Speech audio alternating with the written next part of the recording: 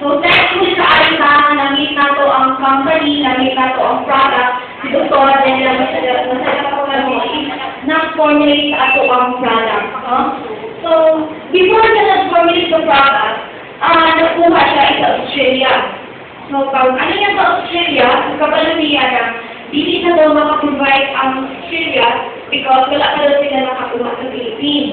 So, nakuha na yung Dr. sa Philippines ang source sa Philippines.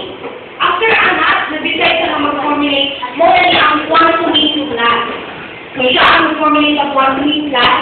And then, uh, maayaw ka ayaw eh, daghan, daghan, nagpapo, o matabak ang quantum class ng mga kabuk. Kaya ang quantum class is very affordable and then pang-masa din siya.